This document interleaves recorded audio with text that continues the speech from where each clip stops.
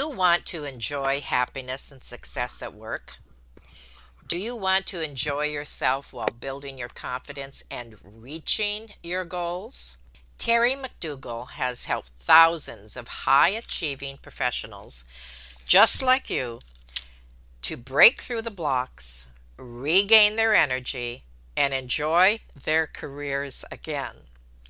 Terry can help you enjoy more success and satisfaction in your current employment or finding your next opportunity in a new career.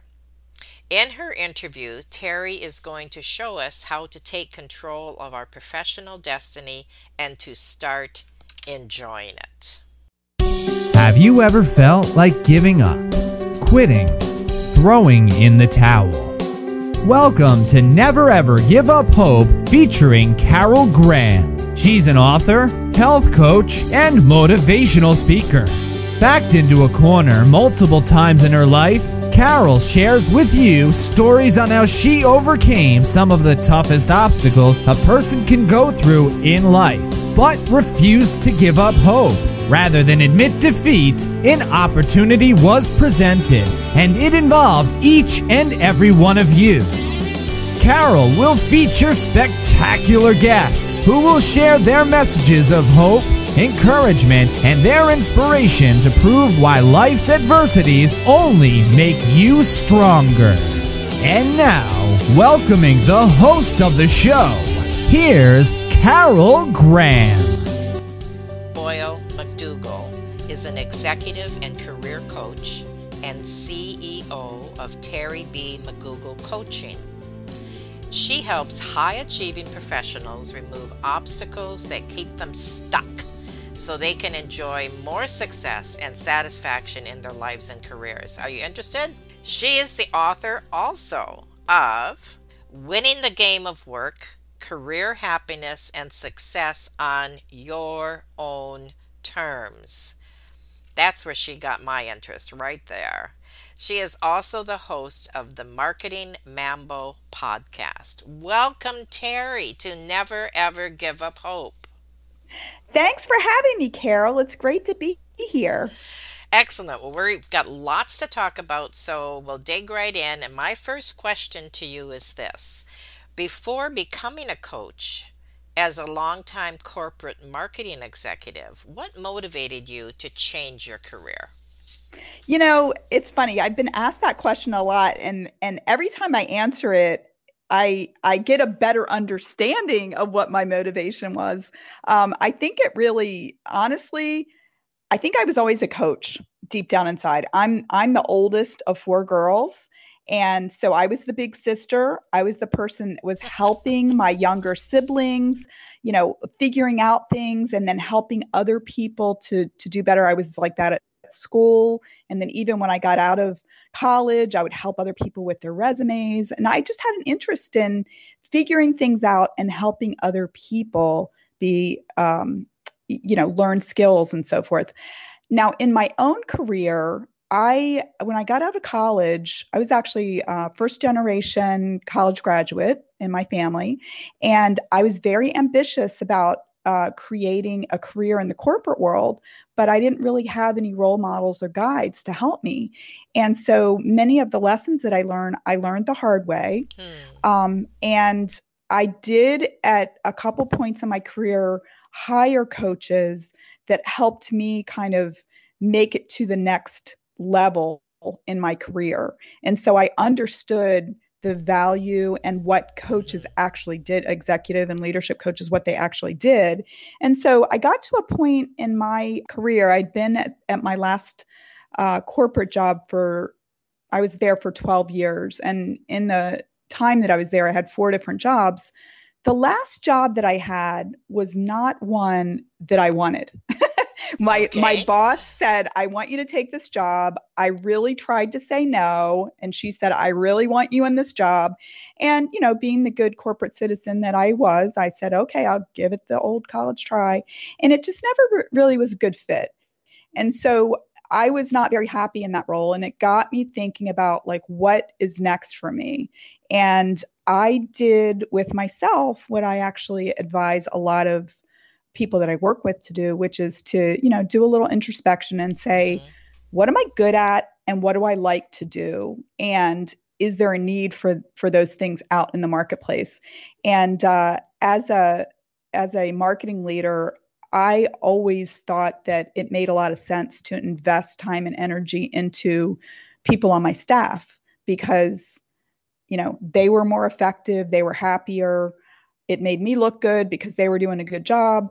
And I got feedback that I was good at coaching and mentoring. And so um, I decided to uh, leave that organization and pursue a certification in coaching. And so what I do today is I, I really mine those 30 years that I had in the corporate world. You know, I've had a lot of experiences. And when I'm working with people, and they're telling me about things that they're experiencing very often I've experienced something similar and I can use my coaching skills to help them figure out how they move forward towards, you know, the reality that they'd like to be experiencing in their uh, career and in their life. So basically, you were coaching yourself without even realizing it.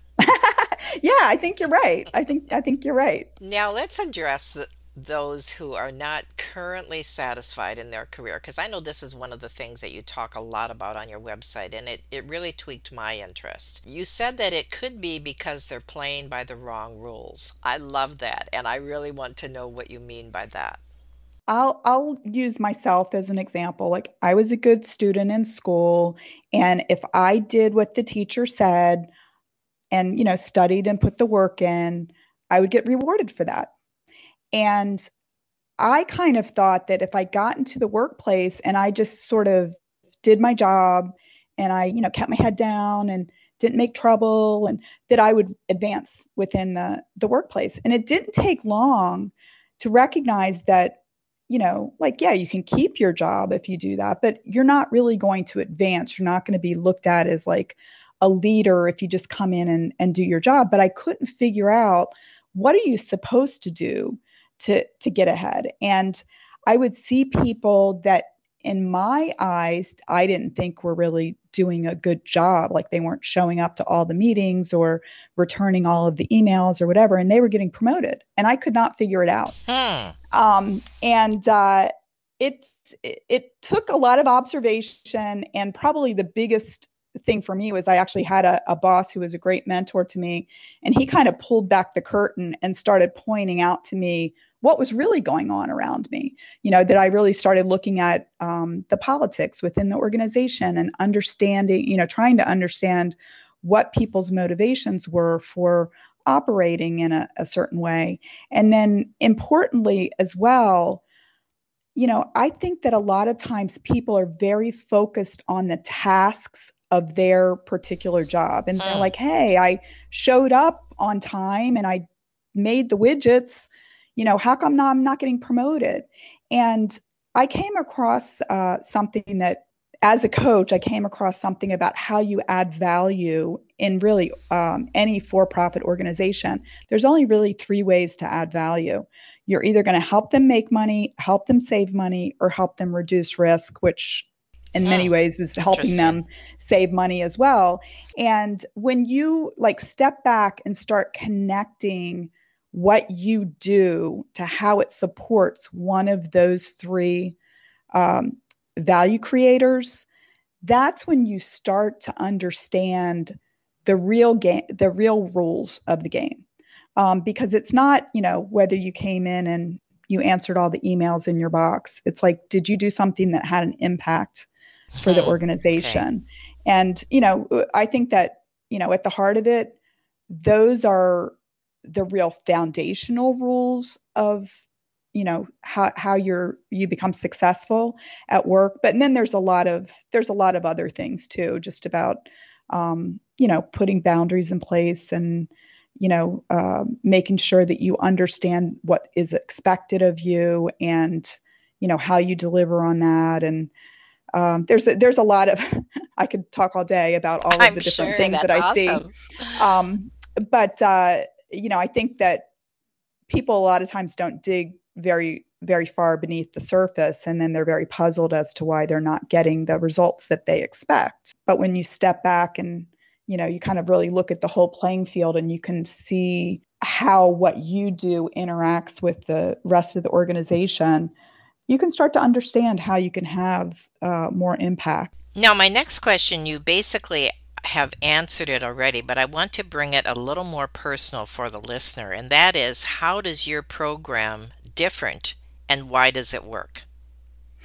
You know, I think that um, you know my my program really has five things that I I take into consideration with my um, clients, and the first thing is helping them get crystal clear on what their goals are, because very often when they come to me, they know that there's some pain.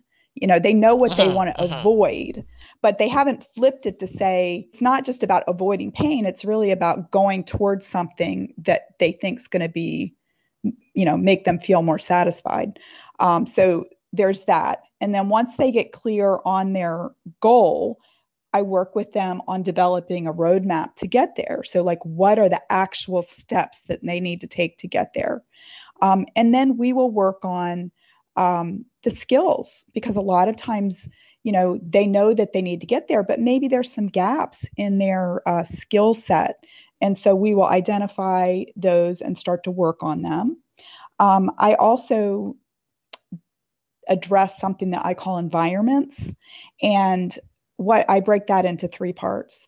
One is that I give them a safe place to talk about things that are stressful or chaotic, or, you know, maybe they really can't talk to anybody else about the things that are going on at work. Like, you know, if they're right, in a leadership right. position, they can't talk to their subordinates. Maybe their family is tired of hearing about it, or they don't understand, or maybe it's going to stress them out.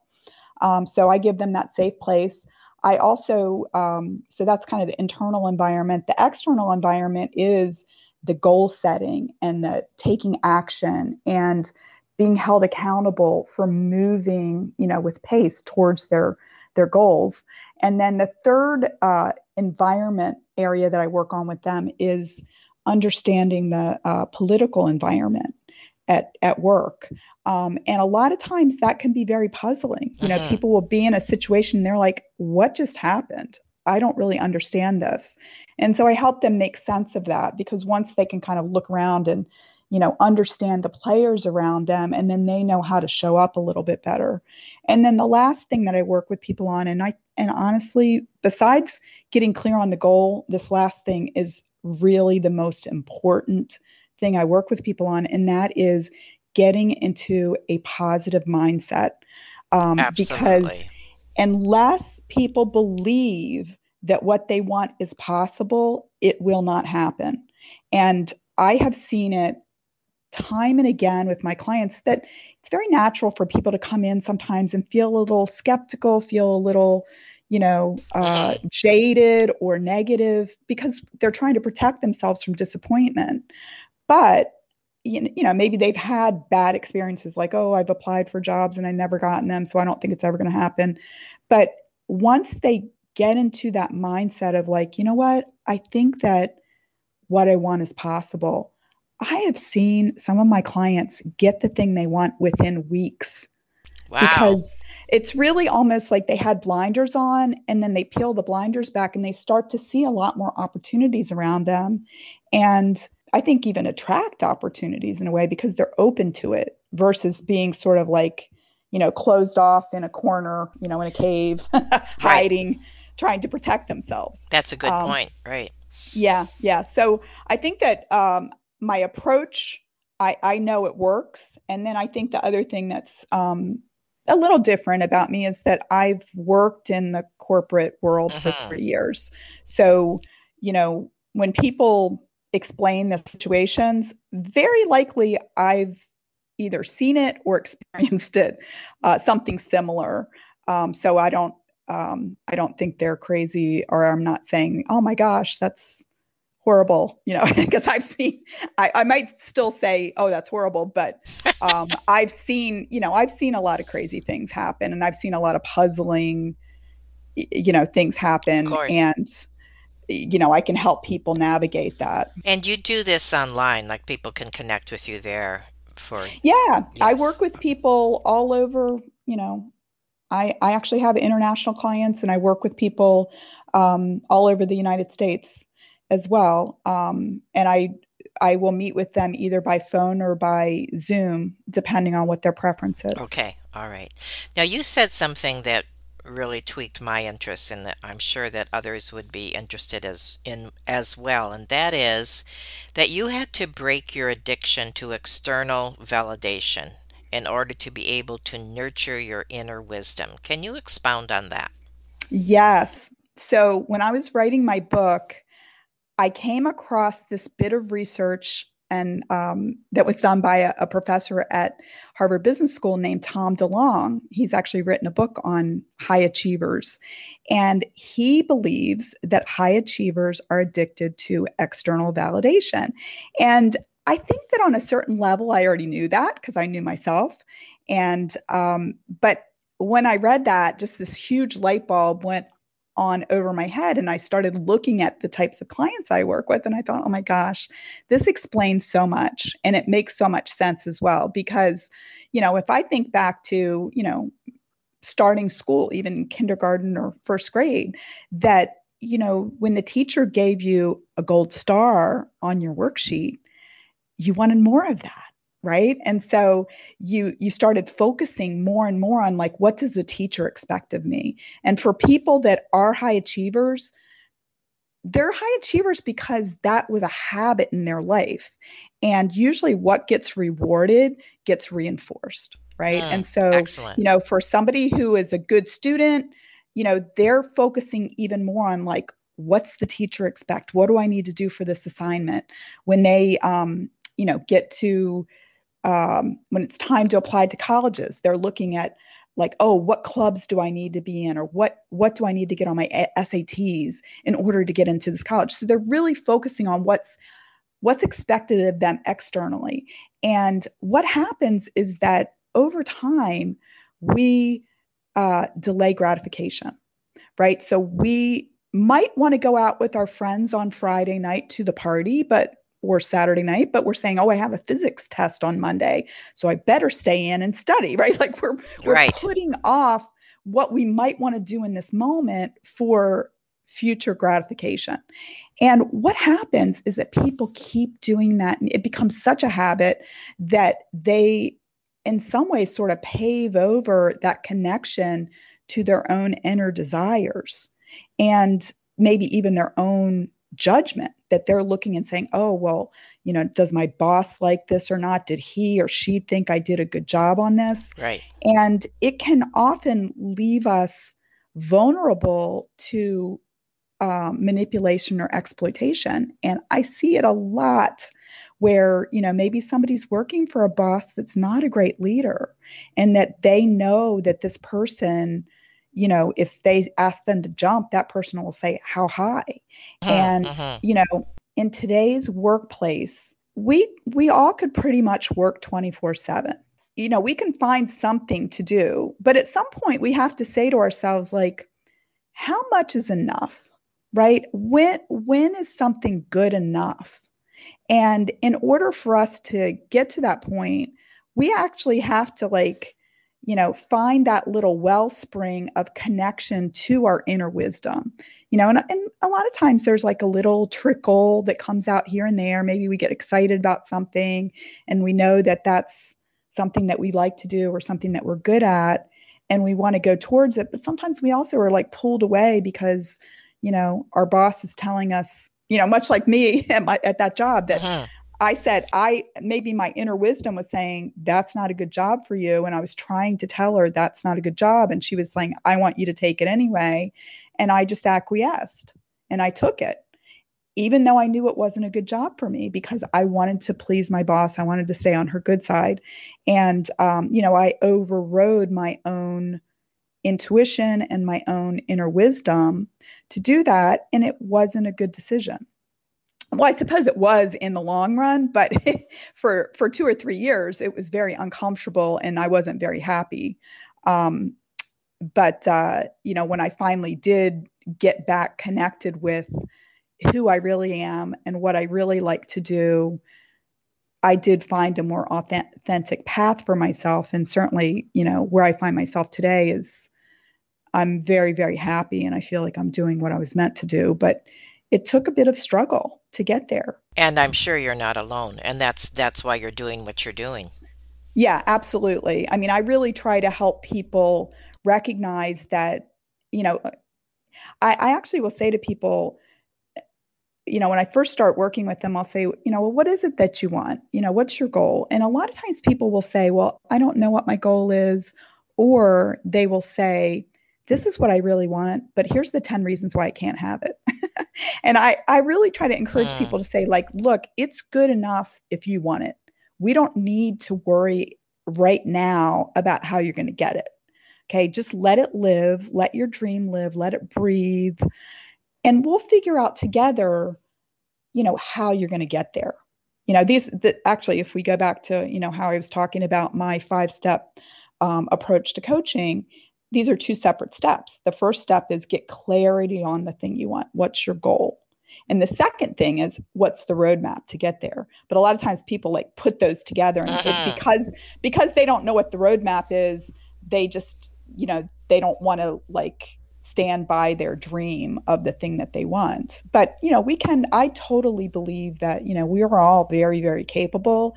And if we really have a passion for something or something that we really want to do, we'll figure it out. I've I've seen it happen again and again how miraculous it is when people are like, "You know what? I'm I'm going to like have coffee with this person because they're doing something that I think is really right. interesting. And then, you know, that person connects them with a great opportunity or they give them some information that helps that person be more successful um, in their life or career. You know, I, I, I think that, uh, you know, we all deserve to be happy and to use our gifts.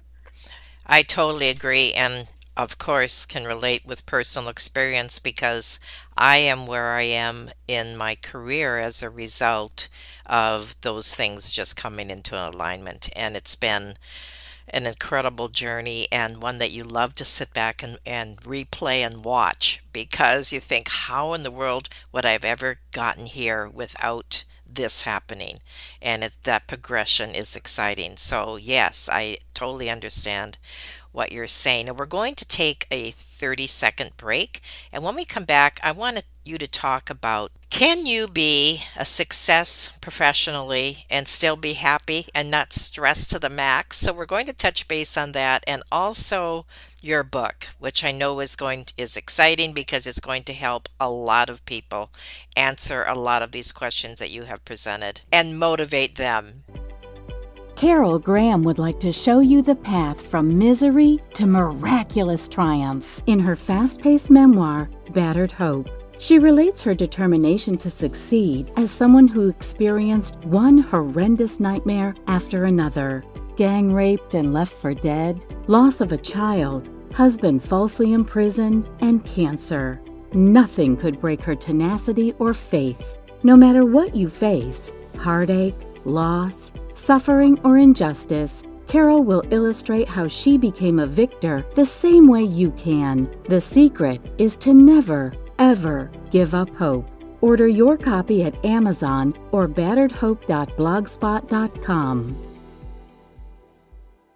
shared so far has certainly been motivating and exciting, stimulating. I mean, all, all those words that mean, okay, I want to change. And I think that many of us as career as career people want that change and we want it smoother and we also want to be happy during that that time because very often you've heard I'm sure you've heard this many times where people who want to become a professional success feel that they have to sacrifice their personal happiness. So can you address that a little bit before we go on with your book, etc.? Yeah, yeah. Well, I mean, I really think it's about energy and it's also about things like boundaries.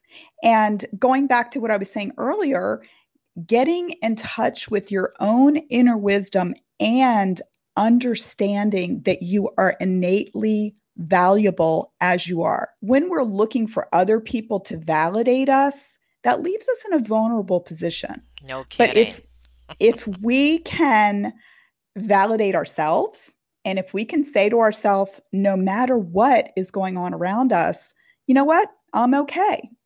Now, I'm not going to say that, like, you know, if you want to do a good job at work, that you can just ignore what's expected of you. Um, but I think that looking at it in the context of what's reasonable and also what you're willing to invest in your career. You know, I um, I look back over on my career and I'm uh, married and I have three kids, and I work the whole time that I was raising my kids. And I very, very rarely brought my laptop home on the weekends. Excellent. And it did it did not hurt my uh, career tra- trajectory. I was still able to to rise and and do well. And I think partly because when I had time with my family on the weekends, that it recharged my battery.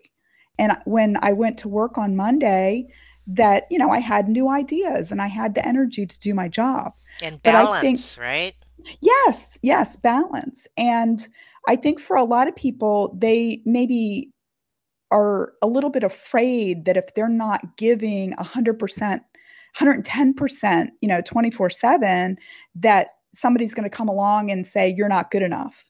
And, you know, there certainly are people within the corporate world that will use, you know, fear and coercion uh-huh, as a uh-huh. way to try to, you know, quote unquote, I don't consider it management. I, I consider it more like manipulation, but to quote unquote manage. And if we can say to ourselves, like, I see what's going on here and I'm going to put a boundary in place. And this is what I believe I'm, or this is what I'm willing to invest in this career. And hopefully it's going to be good enough. And the, the thing that I think is actually interesting is usually when we put a boundary in place and that we feel confident about it, people usually will respect it. I, I very rarely had people seriously challenge boundaries that I put in place in place for myself but i also was delivering what was was asked of me you know i think sometimes when people don't have firm boundaries and they know that like i mean i've seen it where somebody would be like you know it's 10 o'clock at night and you know you're out for a drink or you're at a conference with somebody and they're like oh just email this person they answer no matter what time it is and there are certainly people like that. And I think that they thought that was a badge of honor, but in fact, it just meant that they didn't have good boundaries. And they probably were not having the balance that would maybe serve them better in their life and career. That's an excellent point. I'm glad that you brought that up. Now, I noticed on your website that you said that there was a difference between executive coaching and career coaching. Could you differentiate that simply, please?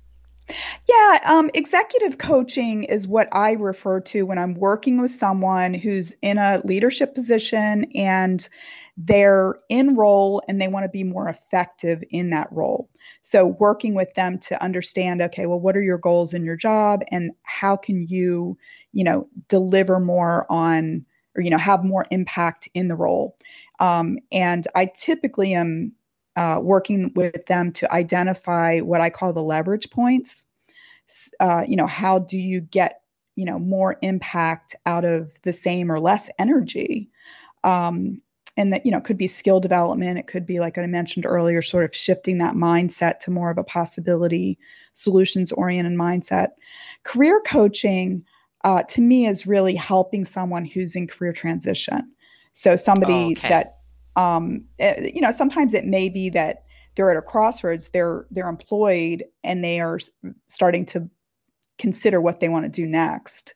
And I'll work with them to, you know, kind of look at their skill sets and strengths and see if we can figure out how they can um, use those in a new situation. And then I'll also work with them on how do you develop a, an effective um, career transition strategy and you know i work with them on things like uh, networking and interview skills and uh, looking back over their uh, previous experience to uh, communicate the value that they've provided to previous employers so that you know future employers would be uh, interested in them.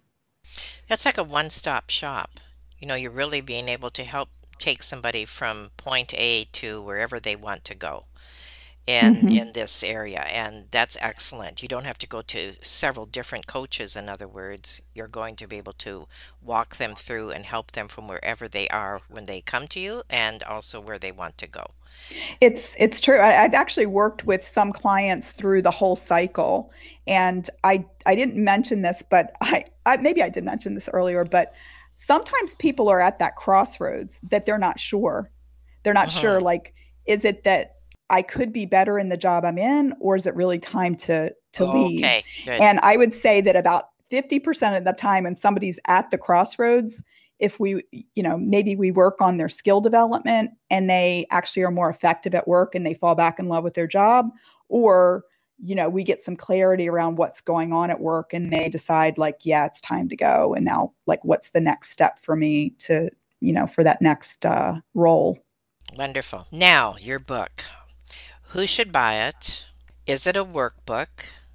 Tell us about it. Whatever you want to share. Yeah, you know, so the book is for people who you know want to be successful. I mean this is uh, this is not about like uh sell all your belongings and you know go on a spiritual trek to india or anything like this. Like i'm somebody that enjoyed you know success in the corporate world and the people that i work with enjoy that. That's important to them as well. But i believe that it's possible to have that and also have plenty of time and space to enjoy your life and to show up you know as you are at work. And so uh-huh. the book the book is really about helping people to look at themselves understand their own strengths understand what is important in the workplace and how to show up to have impact. Um, you know you asked is is it a workbook it has exercises at the end of each chapter on the topic of that chapter you know so helping people get clarity around goals or helping them understand you know how to navigate corporate politics. I also interviewed um, 11 people for the book about their careers. And part of the reason why i did this is because i know for a lot of people and it could be at any time in their career but sometimes we look at people that are more advanced or in leadership positions and just we can think that oh they just sort of like got on this magic escalator that just took them to the top and that they didn't really have to, you know, withstand any hardships. And I knew from just talking to people over the course of my career and uh, in different contexts, I had heard people's stories of how they got to where they were. And, you know, you can look at somebody who's really successful and be like, oh, wow. But then when you talk to them and they're like, yeah, I got fired three times or you know i got i had to withstand you know sexual harassment or i had to you know i bounced around and did a lot of different things before i finally found the right path for myself and i really wanted to share these stories to be inspirational for other people you know because sometimes what i'll see is that people are just like you know, I guess this is good enough. Like I have a job. Why don't I just, you know, have it? You know, my my parents are saying, well, what, you know, why are you unhappy? You have a good paying job. But a lot of times these jobs can be kind of soul sucking. And I believe that we can both have success and have happiness and authenticity. And so the book is for people that want that. And one of the messages, I believe, would be you don't have to settle. You don't. And I I mean I say this all the time that I believe that each of us is here on earth for a reason. And I think our mission here is to figure out what that is.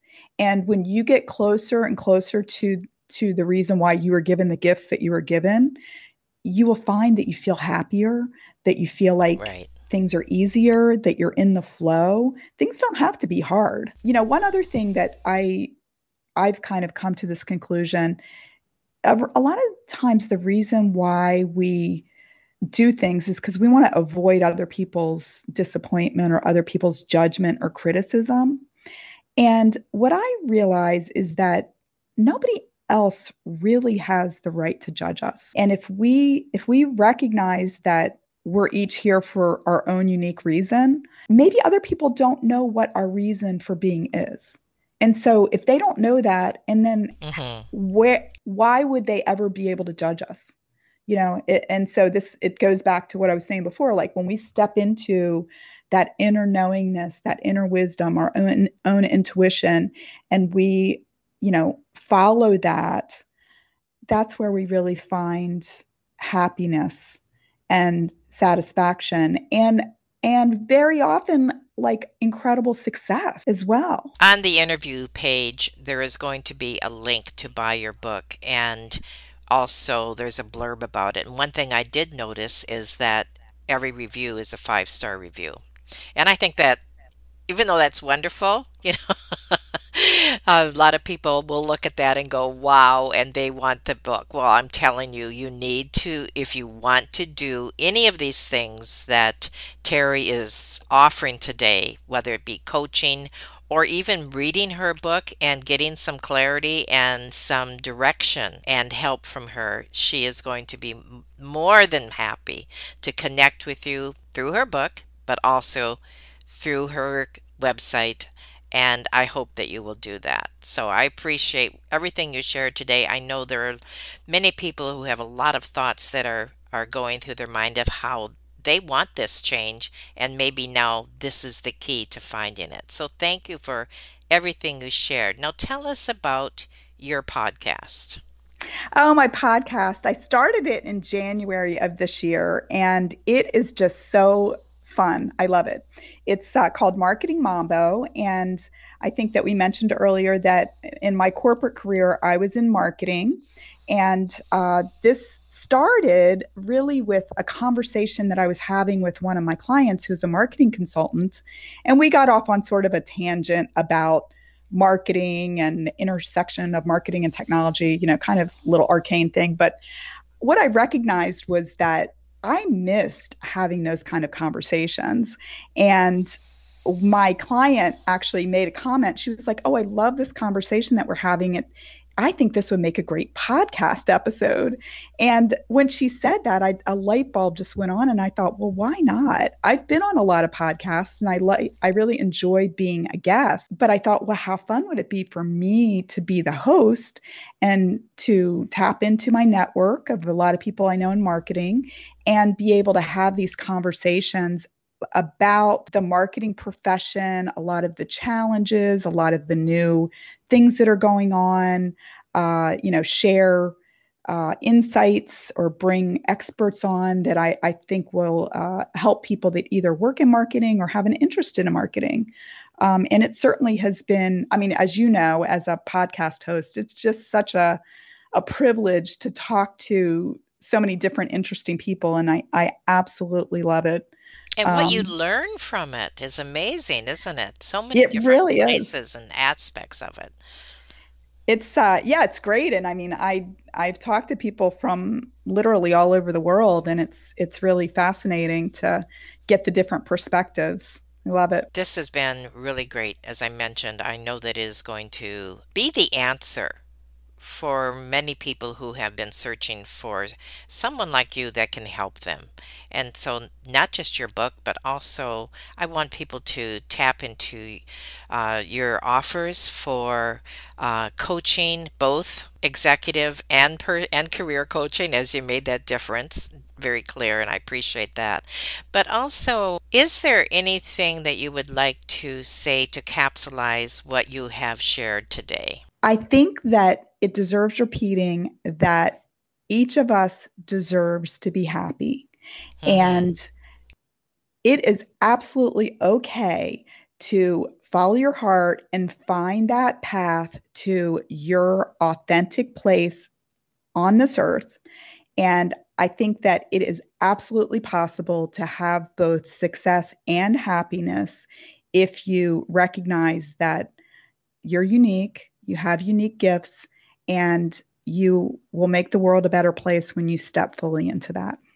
Well, you said what I was trying to say. I appreciate that was perfect.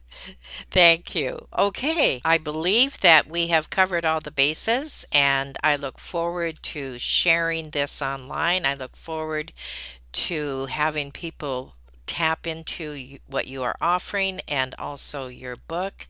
And thank you so much for what you shared today on Never Ever Give Up Hope. Thanks for having me, Carol. I really enjoyed our conversation. Thank you for listening to Never Ever Give Up Hope, featuring Carol Graham. Did you know that most people succeed because they are determined to? Quitting was never an option. Carol loves your comments and will respond to each one. So please subscribe and review this podcast. A rating of five stars would be outstanding and appreciated. Remember, if you are still here, there is always hope.